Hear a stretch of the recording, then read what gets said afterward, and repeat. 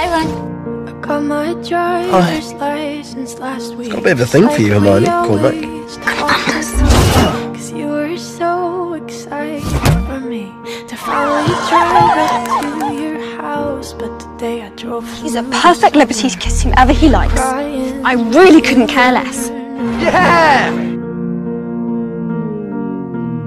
And you probably Think you could introduce me to your friend Granger? Who always made me doubt. Excuse me, I have to go and vomit. Wouldn't mind uh, getting on a first name basis, you know what I mean?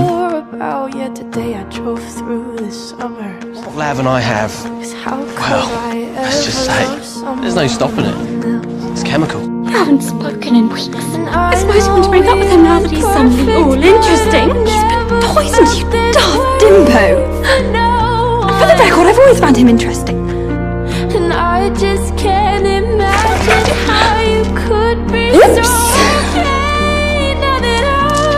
the birds?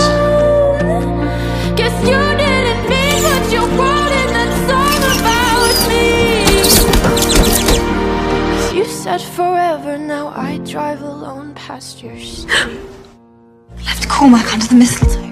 All my friends That's who you invited? tired of hearing how would annoy Ron the most. I miss you. They get scary when they get older. Ron, you spoiled everything! Is that Hermione Granger? With Viktor Krum?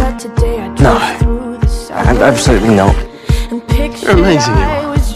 Always the total surprise. Always the tone of surprise. No one asked your opinion. You still feel my blood. You'll pay for that one now for. Eat slugs!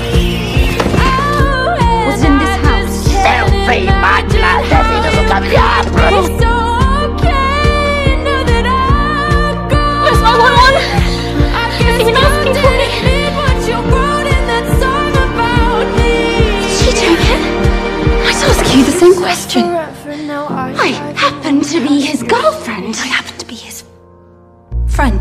Next time there's a ball, pluck up the courage and ask me before somebody else does. And not as a last resort. Well, that's, that's, I mean, that's just completely off the point.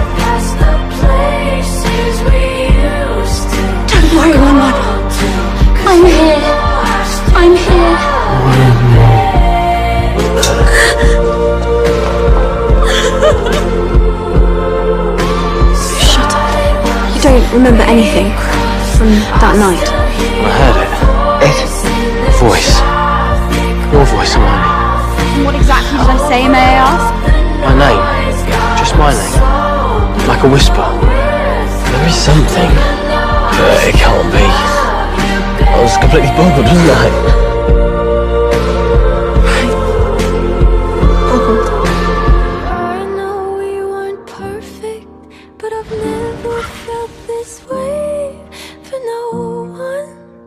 And I just That's my can't girlfriend, you- imagine How you could be so okay now that I'm gone. Cause you didn't mean what you wrote Hey, bit in song about me.